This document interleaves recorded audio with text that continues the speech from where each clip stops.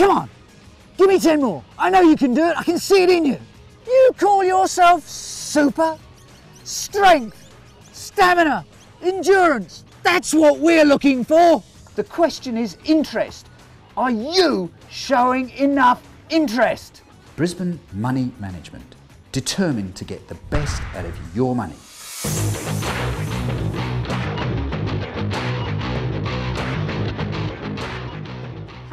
Welcome to tonight's Rules Guru. This week we're looking at the different signals that umpires will use throughout the game. First up, this is the signal that we would use to start the game or restart the game during the match. The horizontal arm indicates a free hit.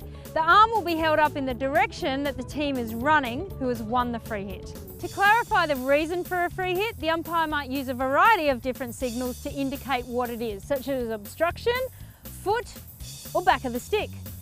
If you see an umpire with a fist held high, this means that you have just been marched 10 metres and it's a progression after the free hit has been awarded. A 10 metre progression might be for a low level offence such as hitting the ball away. Two arms together pointing towards the goal indicate a penalty corner and two arms together pointing towards the centre of the field indicates a goal. This signal indicates a penalty stroke, one hand pointed to the spot and the other hand raised vertically. For a long corner, the umpire will point towards the corner post. A 16 is simple, both arms held horizontally. This signal is for a bully and this signal is for third party obstruction. This one indicates that the first shot on a penalty corner has been too high.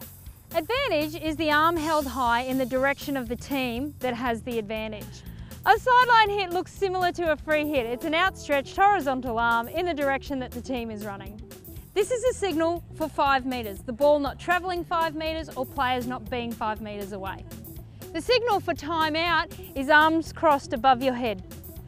The signal for danger is a hand held across the chest and the arm indicating the direction of the team.